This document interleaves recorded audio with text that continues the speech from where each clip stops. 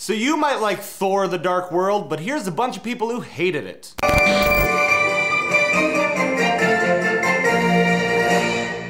It's safe to say Thor the Dark World is the worst MCU film to date with some redeeming qualities, and Loki is not one of the redeeming qualities. I beg to differ. I mean, if not him, what is the redeeming qualities? Uh, all of it? Tom Hiddleston may be the only thing keeping this one afloat. Well, you're about to fight the guy we just read. Do I smell a Loki spin-off? After I watched this film, I was surprised for two reasons. I didn't think it would bore the shit out of me throughout its entire running time. As for number two, I never really liked Loki, but surprisingly, he was the only part of the snooze fest that was quite interesting and likable. Man, it's just all over the board for Loki right now. but so far, it's two on one. It's like the first one, but with a new setting and name changes and less humor. Actually, didn't people say there was more humor in this one? I feel like that was the majority of comments. They all said there was more humor. I understand the new setting, but name changes? Thor's still Thor. Loki's still Loki. Whose names were changed? It's not like all of a sudden they were calling Thor Ted. Didn't even hold my interest for 10 minutes. Still Thor and Hiddleston, so this comment didn't hold your attention to finish it. what holds your attention? Because that was like no words. Are you a goldfish? More like Thor, uh huh. World. I don't even know if the rest of this review is funny or good. That's that's enough. Thor 2 is all hammer and no end lightning. Hmm. I haven't seen this and it's already worse than Ben Hur, and I haven't even seen Ben Hur. Man, based on this comment, you should run for office. I've seen more convincing monsters in costumes the last time I watched Power Rangers. Am I right? I understand that you're making a funny comment, but no, no you didn't. Don't go to Disneyland. You're gonna think everything's real. Even more sh on my dick?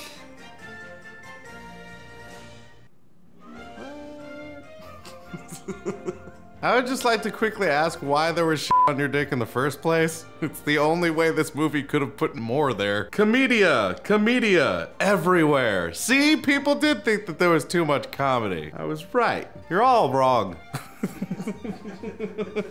this thing is just bad. I've watched it twice. I watched it a second time thinking I was being too harsh. I wasn't. There's no specific thing I dislike about it. As a whole, it's just terrible. It's hot garbage. Well, credit where credit's due. You did watch it twice just to see if you were being a fucking idiot. Arg! Deadly boring. Switched off. Chris O'Dowd was in it for a minute, though. did you spot Chris O'Dowd? Same as the first one. Same shit, different package. Where is the outrage? Where is the out for it being you thinking that it's similar to the first one or what? And it's similar in the form that, you know, the same characters are in it. They're similar. Burn the town! Nonsense in silly costumes, are you offering? I walked out of the theater thinking, wow, I would have been better off giving my money to some homeless person instead of wasting it to this pile of shit called a film. I mean, if you did that, you're a better person than I am, because I would go watch the movies. I feel like my money would have been better helping people. It's like, Probably. and I'm being generous. They gave it a half a star. You can't give zero stars on Rotten Tomatoes. So you're not being generous. You're doing what's required so that you can write shit. Why are they even making Thor movies? No one cares. Well, we didn't care until we saw them. And then we were like, I need that. Step your game up, Thor. Word. Very, very generic, almost like it was made by a robot in a factory based on a set of predefined criteria, kind of like me.